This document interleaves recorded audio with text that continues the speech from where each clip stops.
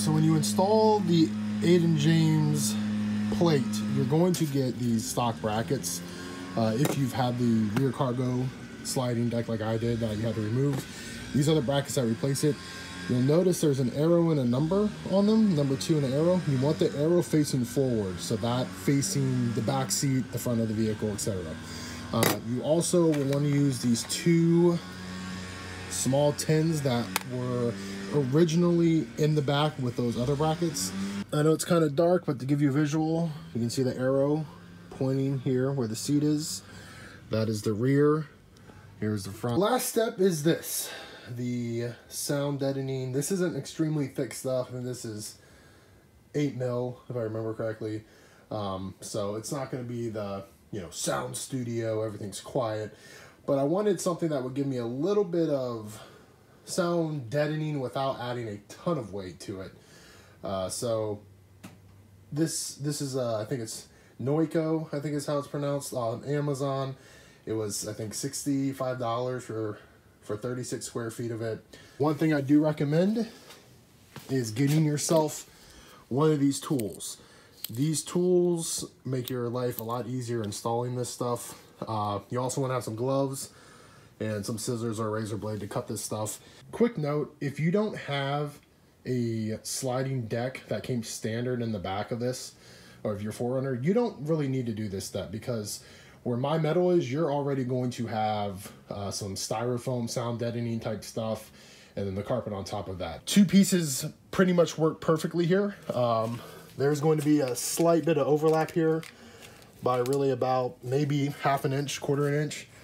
And uh, then next all I'll have to do is just take another piece and go up towards the, the closest to the back seats and just cut it up and kind of play a little bit of a puzzle game.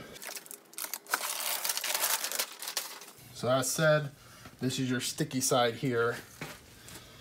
And it's not, it doesn't exactly sit like hardcore, so you can still play with it a little bit to get it where you want to sit.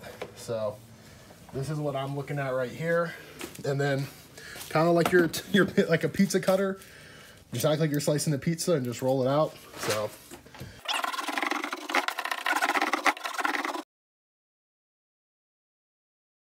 So as you can see, it, it forms really nicely. You know, over the little beams and stuff like that, it'll form easily. It's more just getting between brackets and things like that where you're going to want to kind of cut it up a little bit. All right, so as you can see, it's all done. It's all put in there the best that I could get it in.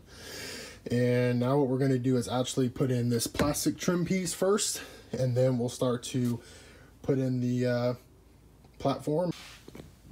So one thing I did fail to mention, these brackets here, you have to hit them possibly with a dead blow, just a tad bit. I bolted my end and just tapped them a bit um, to match them up with the holes on the, uh, the wood platform.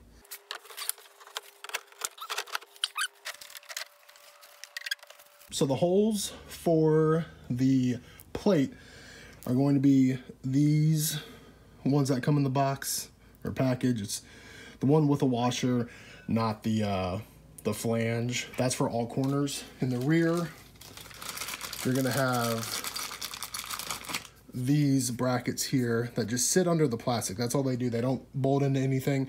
They just sit under the plastic like so, and you bolt your bolt down through.